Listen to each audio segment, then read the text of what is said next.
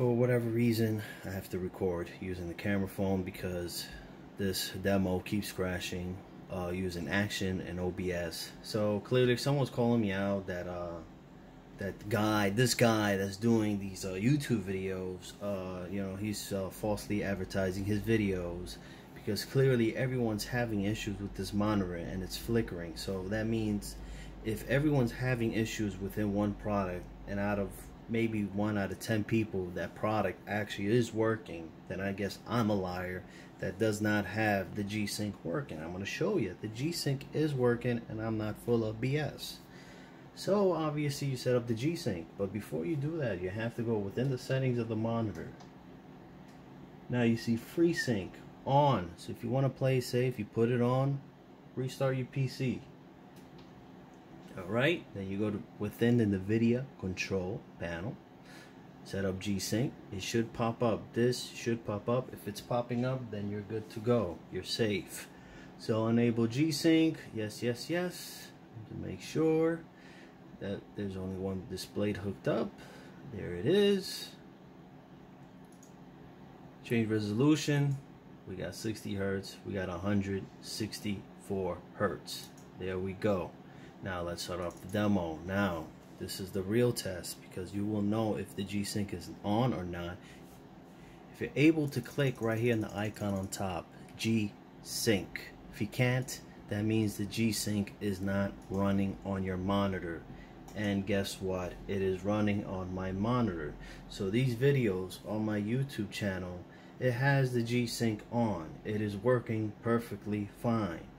So this person who has a hissy fit with me clearly is just mad because he went through two or three monitors and it didn't work for him. So he has to give me an attitude for it, which I don't deserve. But, you know, it is what it is. I just wanted to do this video to show that, you know. That's how you set the G-Sync on a FreeSync monitor. And if the G-Sync is not working for you, or you're having issues in general, especially with the flickering, then I would highly recommend you just return the monitor, get another one, try to do this test once again. If it's still giving you issues, then you might as well just buy a G-Sync monitor to save yourself the headache. V-Sync on, off I mean. You can see some tearing on the sides here. The V-Sync. So this is G-Sync on. You see all that nasty tearing. V-Sync is on, but not as smooth as G-Sync. Okay, there you go.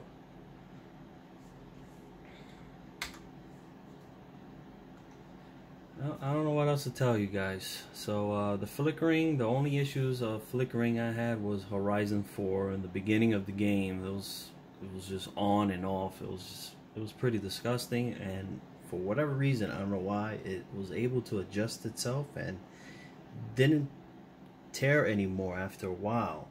Uh, Steam, I had zero issues with Steam. No flickering on any games whatsoever. On Steam, Epic Games.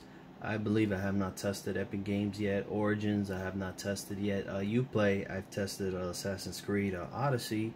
No issues whatsoever. So the only issue I've had was with the Windows Store. So there you go. Appreciate you guys watching. And you guys have a great day.